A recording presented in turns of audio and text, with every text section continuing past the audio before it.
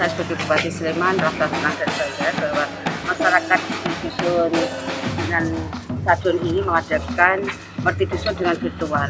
Dengan mengadakan merti dusun virtual ini kan tidak langsung tatap muka, tapi bisa langsung warga masyarakat melihat dengan lewat virtual. Harapannya kebudayaan tetap dilestarikan, tapi masyarakat tetap sehat, tidak kumpul-kumpul bareng-bareng sehingga terbatas masyarakat dengan masa COVID. Dan dengan pelestarian e, merti dusun ini, masyarakat sudah melestarikan sekaligus budaya dan kebersihan lingkungan untuk lingkungan masing-masing sehingga nanti uh, sehingga Jawa bisa sehingga nanti bisa lestari kebudayaan.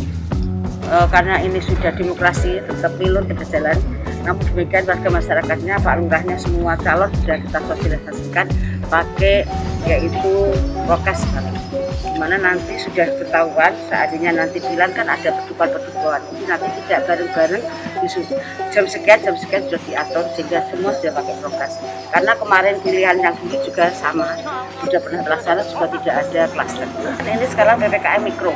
Sehingga PPKM mikro itu mulai dari pendukuan RT lebih-lebih nanti panitia itu harus sudah bekerja sama adanya pilot yang dia ada di kabupaten RT RW terakhir sehingga Karang Taruna dan lain sebagainya. Khususnya panitia harus kita sudah menyiapkan dan kemarin sudah kita kumpulkan.